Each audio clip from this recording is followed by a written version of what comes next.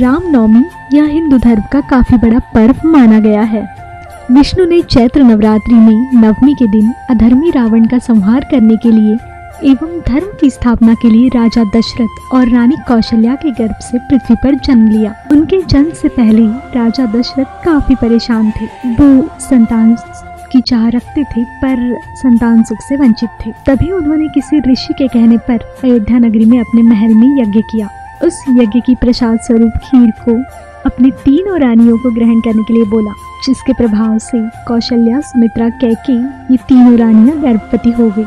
और तभी चैत्र माह में नवमी के दिन प्रभु श्री रामचंद्र का जन्म हुआ।